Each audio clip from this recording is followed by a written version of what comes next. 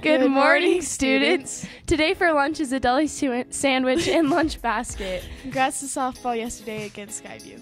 Congrats to Kaylee Burton for getting a 99 yesterday in golf. This week's scholarship highlight is the South Summit Classified Employee Scholarship. Did you know that bus drivers, secretaries, lunch ladies, and custodians offer a scholarship to get to a graduating senior. Come see Miss Reagan or the senior bulletin board for details. Students, are you saving your co- cat coins? Remember, Friday during lunch, you can redeem them at the cat store. It is the window next to Jane's.